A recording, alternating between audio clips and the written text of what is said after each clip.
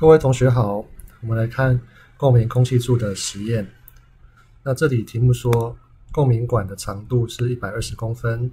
那利用两个音叉，假音叉和乙音叉，假音叉频率是四百赫兹，乙音叉频率是未知。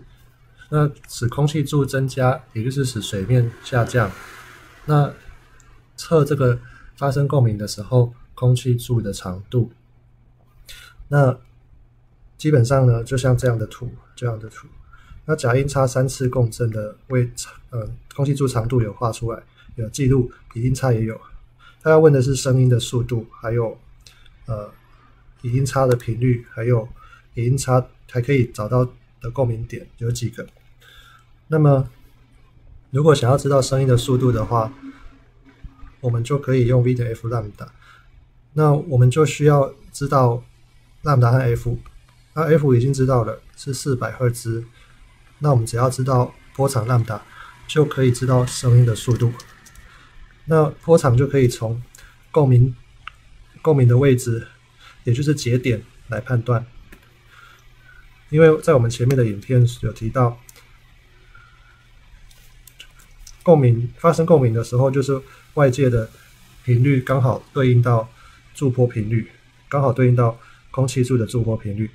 那所以这时候呢，节点和节点之间就是二分之浪达啊，节点和节点之间是二分之浪达，所以我们就可以看，呃，第一次共鸣的位置跟第二次共鸣的位置，它应该说第一次共鸣的空气柱长度跟第二次共鸣的空气柱长度差了四十二公分，然后第二次共鸣的空气柱长度跟第三次共鸣的空气柱长度。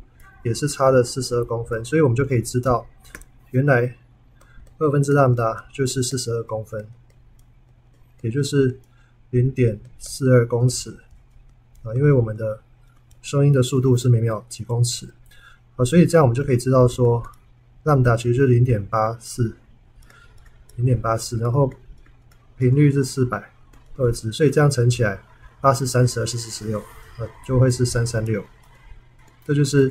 第一小题，那在第二小题的话，音差频率未知，但是我们一样可以透过波长和波速去求出乙的频频率。我们只要知道波速和波长，就可以求频率了。那波速声音的速度在第一小题算出来了。那波长呢？我们来看一下。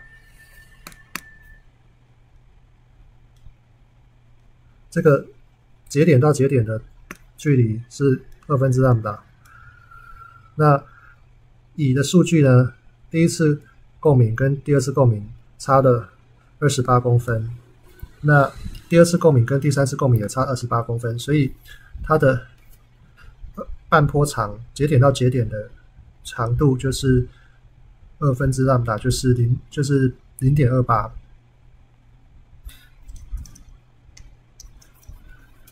写在这里，零点二八公分。啊，所以，所以它的波长是零点五六公分，所以我们这里就写声音的速度三三六会等于零点五六去乘上频率，所以 F E 啊就会是三三六除上零点五六。六五六三十，六六三十六，所以 F 是六百赫兹。好，那如果还要产生共鸣点的话，就是要再多个节点，要再让水面下降。所以六十八，如果再下降，空气柱的长度再增加半个波长，增加二十八公分的话，那就会来到了多少呢？呃。六十八加二十八，九十六，九十六。那九十六还在一百二十公分内。如果再继续往下，水面再继续降低，空气柱再变更长，再加二十八的时候，会来到一百二十六。那一百二十六已经比一百二十大了，所以就不可能有这么长的空气柱。所以这个一百二十六就不行啊。所以就只有九十六，还可以在空气柱长度九十六的时候找到一个共鸣点。好，所以答案这里就是一。好，谢谢。